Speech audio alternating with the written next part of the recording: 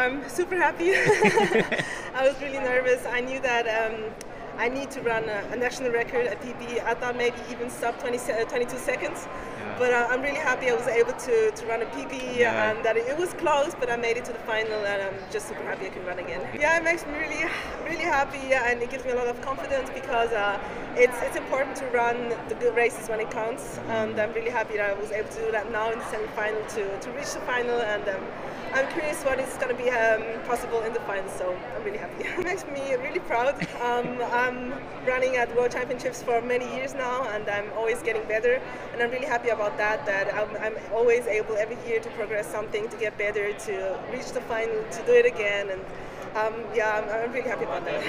I'm really proud of uh, representing Switzerland. Um, we have uh, we have a, such a good team, and it's so inspiring to see the other, the younger. I'm one of the oldest, um, but um, it's always a big honor to wear wear the national colors and to run for Switzerland. So I'm really really happy to be here.